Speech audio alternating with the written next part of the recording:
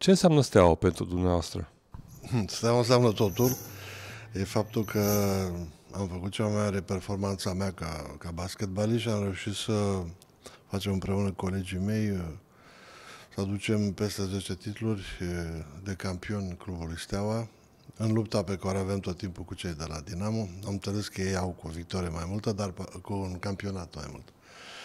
Deci înseamnă totul, înseamnă realizarea și ca, ca, realizarea ca om, terminarea unei facultăți și, și ceea ce am realizat nu numai la nivelul stelei și a echipei naționale. Cele 250 de meciuri de echipa națională înseamnă clubul, un club extraordinar, un club care ne-a format ca oameni, în care am avut foarte multe avantaje, ne-am realizat și care îi datorăm totul și această performanță pe care zic eu că pentru basket am realizat-o prin aceste titluri de campioană și pe plan internațional am ajuns chiar până în sferturile de finală în Cupa Campionilor Europeni, în Cupa Cooperul ne-au jucat în perioada anii 78, 80 până 90. Când ați venit de la Constanța la Steaua, ați avut ofertă și de la Dinamo. De ce ați ales Steaua? Uh, ofertele pe vremea aceea erau altfel, uh, mai cu, mai cu ordine, mai cu incorporări, nu numai pe mine, și fotbaliști, au fost și ambaliștii. Uh, nu, se, nu știam uh, ceea ce părinții mei doreau, în primul rând, să fac o facultate și ceea ce am reușit, pentru că nu se știe ce se întâmplă după performanță, dar uh, lupta era tot timpul între Steaua și Dinamo. Uh, tatăl meu era ofițer al Ministerului de Interne, dar uh, uh, am reușit uh, ca conducerea atunci a armatei să, să aleagă ca eu să să fiu la, să, fiu, să vin să joc la Steaua. Și e un lucru bun pentru că uh, aveam un coleg de generație, pe Dan Niculescu, care juca la Dinamo. Zic, hai să, să merg la Steaua. Și așa am ajuns la Steaua. De unde credeți că ați moștenit imensul talent? Nu știu, talentul se moștenește într-adevăr, nu capeți. Sunt colegi de-ai mei care muncesc foarte mult și care au muncit foarte mult ca să ajungă, dar sigur se moștenește. Tatălui meu îi plăceau voleiul, a fost un voleibalist. Din, din generația mea, foarte puțin au făcut sport, dar pasul acela pe care îl facem la început de la vârsta de copii, de juniori, în care se face o selecție, ceea ce am avut la Constanța. Nu uităm că la Constanța cei mai, mai mari decât mine ca vârstă erau campioni de juniori. Iar eu am început cu ei la început, deci acel pas e foarte important de la, de la copii la juniori, urmând vârsta de 18 ani să ajung chiar la 20, la 20 de ani, am debutat în echipa națională. Deci în cei 5 ani am reușit să fac acest pas. Sigur, talentul e important, dar dar sigur e nevoie, nevoie de foarte multă muncă pentru a reuși, atât pe plan intern cât și pe plan internațional. Cum erau la acea vreme duelurile cu Dinamo? Erau grele, foarte grele și foarte mult stres, stăteam în cantonament foarte mult timp, chiar înaintea meciurilor, nu știam ce se întâmplă, știam doar că trebuie să luptăm și să, să ne batem, să, să, să învingem. A fost o perioadă în care ei au dominat din punct de vedere al unui lot pe care îl aveau mult mai valoros decât al nostru. Noi am avut o generație care a terminat, pe care am venit noi împreună cu alți jucători mai tineri, care am reușit să, să luăm în timp de din anii 78 până în 90 am luat aproape 90 titluri de campionă națională. Derbiurile erau foarte frumoase, erau, era mult stres, era, erau foarte greu, se, se, se decideau și se terminau tot timpul pe final, unde intervenea acel stres și acel, acel moment în care, care reușea să-și iau responsabilitate și să arunce la coș și să marcheze, era perfect. Riscul era să nu, marc, să nu fi marcat un coș și atunci uh, intervenea înfrângerea și... Dar meciul, meciul erau superbe, spectatorii erau extraordinari, sala era plină, uh, era, un, era un show extraordinar și meciuri frumoase. Cam astea au fost derburile cu Dinamo. Ce prime de victorie aveți, aveați în fața rivalilor de Ștefan cel Mare? Uh, primele de joc nu prea erau mari, eram uh, știu că la meciurile internaționale primeam primă și da, și la derby la, la, la meciurile cu Dinamo, comandantul venea cu, mi-aduc aminte, cu o pungă de plastic cu bani pe care ne-o punea pe masă. Nu mai știu cât era acolo, dar a spus, dacă câștigați, e voastră. Era plină. Nu am numărat niciodată. Dacă nu, o iau. Și a cam pierdut-o, să știți, în ultimul timp. A cam pierdut punga aia, aceea cu, cu bani. Cam astea erau. Cam o mie de lei, eu știu, 2000 ce era pe vremea respectivă. Mai puțin decât acum. Ce a însemnat pentru dumneavoastră celebrul meci cu Maccabi Tel Aviv când ați dat 63 de puncte?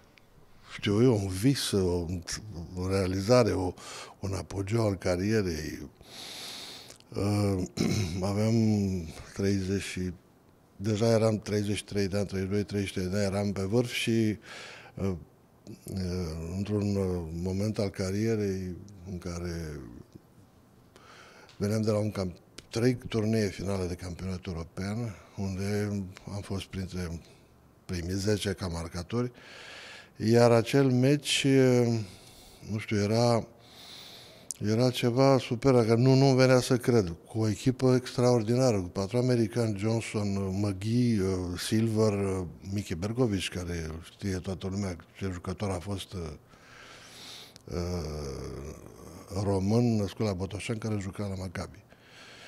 Și linia de trei puncte, care m-a cam inspirat. Îmi, îmi plăcea să arunc de la distanță și Aveam Floreasca în reperele mele, știam panourile, știam tot, să nu mă fi dus în altă sală, când trebuia timp să mă acomodez. Și am tratat meciul așa, normal. Am uitat că Maccabi câștiga și în anul respectiv a câștigat Cupa Campionilor Bine, am uitat de Maccabi și uh, au fost câteva blocaje, am primit mingea la trei puncte, m-am uitat la linie, am văzut-o e, și am aruncat și am, am scris, după care încep să, să, să-ți placă, începe să se scume de la un coș, a început și celelalte și simțeam totul foarte bine, simțeam totul, adică știam unei coșuri, știam că și într-adevăr, la sfârșitul meciului a venit un foarte mare antrenor de junior, domnul Drăjan, care mi-a spus că ați înscris 63 de puncte. N-am știut, eram terminat. A fost superb. Când ați realizat, uh, practic, cât de mare a fost meciul pe care l-ați făcut atunci cu Maccabi? Uh, pe moment, nu știu, dacă am realizat, într-adevăr a fost și un retur la Tel Aviv, în care și acolo am scris vreo 33 de puncte, a fost retur la Tel Aviv.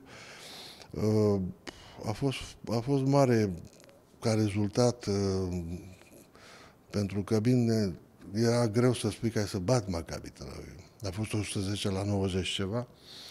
93 parcă și era greu să spui că, dar, că bați pe Maccabi, dar um, faptul că uh, am jucat cu echipa cu Maccabi Tel Aviv, faptul că ne-am bătut de la egal la egal cu echipa care câștiga Cupa Campionilor Europene, e totuși ceva extraordinar și rămâne, eu zic, un record uh, istoric care, nu știu, cu apărările de astăzi, dacă se va mai realiza. Eu le doresc succes și jucătorilor români special. Haideți să facem un exercițiu de imaginație și să spuneți cum credeți că ar fi arătat viața dumneavoastră dacă ajungeați în NBA. La apărările de acum foarte bine. Am văzut, deci se lucrează, se fac, se fac pe blocaje, rotații în care sunt finalul de meci în care jucătorul rămâne liber. liber. Pentru mine era foarte greu să, să primesc mingea, pentru că, în general, când se știe că un șutor uh, pe care îl cunosc toate țările se apără special. Și, dar uh, era foarte greu să mă demarc, să primesc mingea. De-aia mă foloseam de colegii mei mai mari. Opșitaru, Ion Viorel, eu știu, la Sandu Vineranu de la Lotul Național, ca să primesc mingea, după care, după care uh, puteam să arunc la coș. La NBA acum eu am văzut că e foarte frumos. Este la orice blocaj și din blocaj, e capcană, rotație, rămâne jucător. Și se stă pe colț. Ei, dacă am primit, o primeam pe colț, vă spun eu că deci la antrenamente făceam serii de serii de 10, câte 10 serii de 10 și rar dădeam, înscriam 9. Deci deja ați văzut și acum, e un automatism care se formează, deși nerul ăla mic, un automatism care se formează și care, și care îl simt și... Dar, așa vorbind, ar fi acest automatism, dar nu e simplu. Nu foarte mult se reușesc să simtă mingea și să, și să înscrie cu ușurință așa cu ușur de trei puncte. Ați avut realizări importante și cu echipa națională. Ce însemna pentru un sportiv la acea vreme să joace pentru România? Însemna absolut mare lucru, însemna ceva extraordinar. Eram cu România pe piept, ne băteam cu primele de 12 echipe din Europa și însemna era o mândrie, mândrie personală.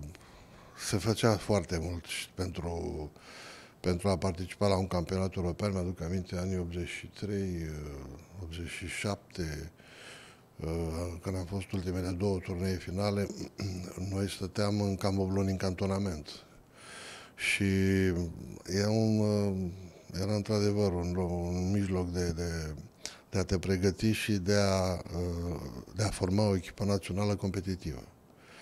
Mult înseamnă să reprezinți România și să-ți reprezinți țara înseamnă ceva extraordinar. Deci România înseamnă pentru orice sportiv, înseamnă faptul că ai România pe piept, înseamnă un lucru extraordinar, o mândrie personală. Ce își dorește Costel Cenat la 70 de ani? Eu știu tot ce își dorește oricine, deci timpul ăsta trece repede, parcă uh, toți sportivii de performanță au o nostalgie în momentul când uh, se termină cu postul de performanță, e o vârstă puțin trec de 40 de ani, dar vine și această vârstă de 70 de ani, care vorba unui coleg de-a meu e frumoasă.